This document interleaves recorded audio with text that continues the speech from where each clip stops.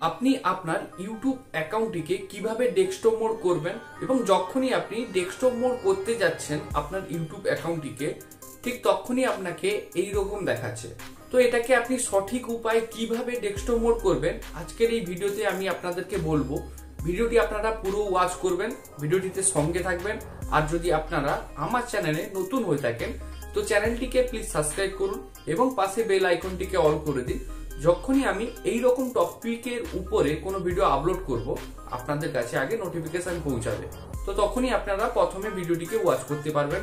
তো বন্ধুরা, প্রথমে আপনি যাবেন আপনার ক্রোম ব্রাউজারে ক্রোম ব্রাউজারে আপনি লিখে সার্চ করবেন ইউটিউব ডট লক স্পেস দিবেন ইন তো এটা আপনি কীভাবে লিখবেন আমি আপনাদেরকে আমার ফোনের মাধ্যমে দেখাবো।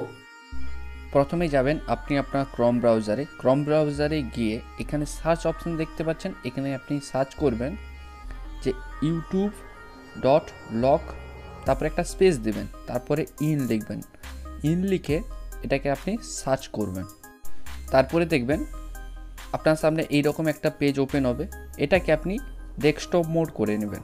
ঠিক আছে? এখানে থ্রি ডট থাকবে। থ্রি ডটে দেখবেন ডেস্কটপ মোড অপশান আছে। ডেস্কটপ মোড করে নেওয়ার পরে প্রথমে যে অপশানটা আপনি দেখতে পাচ্ছেন, সাইন ইন ইউটিউব, এখানে আপনি ক্লিক করবেন। তারপরে দেখবেন আপনার ইউটিউব অ্যাকাউন্টটি ডেস্কটপ মোডে কনভার্ট হয়ে গেছে।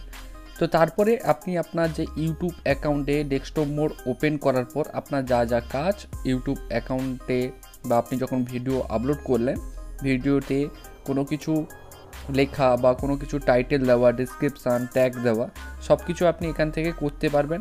তারপর এখানে আপনি অ্যালাউ করবেন অ্যালাউতে ক্লিক করার পরে এখানে এই প্রোফাইল অপশানে ক্লিক করার পর এখানে দেখুন স্টুডিও আছে ক্রিয়েটিভ স্টুডিও তো এখানে আপনি ক্লিক করবেন। তারপরে দেখবেন আপনার ক্রিয়েটিভ স্টুডিওটা ডেস্কটপ মোড়ে ওপেন হয়ে যাবে।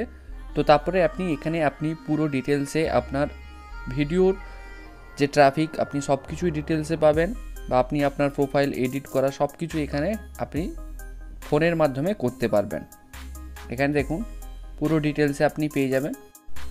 তাছাড়া বন্ধুরা, আপনার যদি ইউটিউবের কোনো মিউজিক ইউজ করতে চাইছেন কপিরাইট স্ট্রাইক ছাড়া বা হয়তো আপনি কোনো মিউজিক ইউজ করছেন ওগুলোতে কপিরাইট স্ট্রাইক এসে যাচ্ছে, তো এই ব্যাপার নিয়ে আমি একটা অলরেডি ভিডিও বানিয়ে রেখেছি। নিচে ডিসক্রিপশানে লিঙ্ক দিয়ে দেবো, আপনারা অবশ্যই ওয়াচ করবেন। ওই মিউজিক ইউজ করার ফলে আপনার কপিরাইট ক্লেম বা স্ট্রাইক আসবে না।